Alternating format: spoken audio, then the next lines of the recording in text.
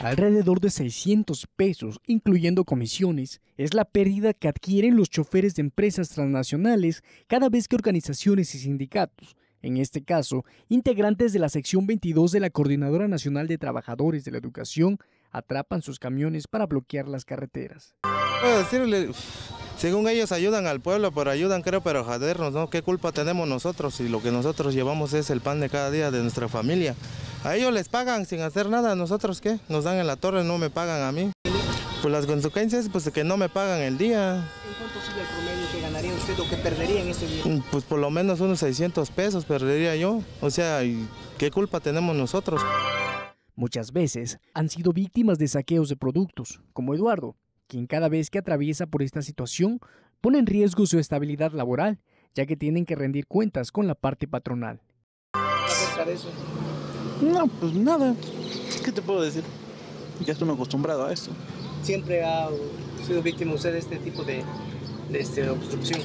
Eh, me hace rato. ¿Cuál es el mensaje que usted le daría al gobierno? Pues que esa es una... Para mí es es un complot, pues, es un divorcio entre gobierno y magisterio, de, ya de tiempo, pues. ¿Qué mensaje le puedo dar uno? Económicamente, en mi comisión, en que ya no, por ejemplo, hoy ya no gano, pues, eh, lo que mi salario principal es la comisión. ¿Dónde nos puede usted relatar un poquito sobre eso? Eh, fue en el crucero de Cinco Señores. Igual fue un sábado en la tarde, recuerdo, y ahí sí se llevaron producto.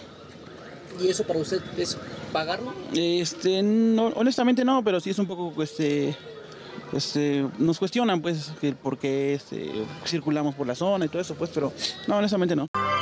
La impotencia que muestran los camioneros, quienes se dedican al transporte de mercancía, no les queda de otra más que acceder a los caprichos de estas organizaciones para atravesar su camión y contribuir a los múltiples bloqueos.